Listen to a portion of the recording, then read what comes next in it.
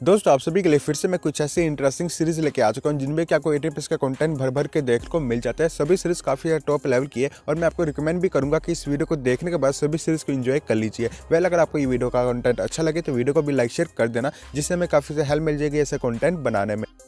Number पाँच पार्कोड ये series आई थी साल 2018 में, जो कि बेसिक क्राइम ड्रामा के ऊपर। अब सीरीज़ में स्टोरी देखने को मिलती है कुछ फ्रेंड्स की, जो कि एक बार में जाते हैं, और बार में जाने के बाद वो कैसे एक दूसरे के दुश्मन बन जाते हैं, वही आपको सीरीज़ का प्लॉट देखने को मिल जाता है। सीरीज़ काफ़ी इंटरेस्ट ड्रामा के साथ देखने को मिलती है, और सीरीज़ को आई एम डी ने फाइव की रेटिंग दी है।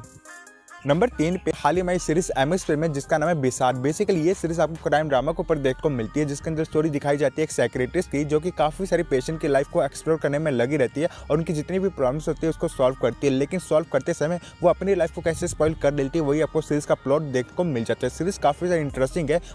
नंबर दो पे साल दो उन्नीस मई सीरीज़ जिसका नाम है बॉस बॉस बेसिकली आपको क्राइम ड्रामा सीरीज़ देखने को मिलती है, जिसके अंदर स्टोरी दिखाई जाती है शिमला की, जहाँ पे क्राइम रेट काफ़ी ज़्यादा हाई पे चले जाते हैं, जिसके बाद कुछ पुलिस ऑफिसर्स को दिल्ली से शिमला बुलाया जाता है और उनको टास्क दिया जाता है कि क्राइम रेट को काफ़ी ज़्यादा कम करे। क्या वो पुलिस ऑफिसर्स कम करने में सफल होते हैं या फिर नहीं, वही आपको सीरीज़ का प्लॉट देखने को मिल जाता है। सीरीज़ काफ़ी ज़्यादा इंटरेस्टिंग है और सीरीज़ में आपको एटीन प्लस का कॉन्टेंट भी काफ़ी ज़्यादा देखने को मिल जाता है।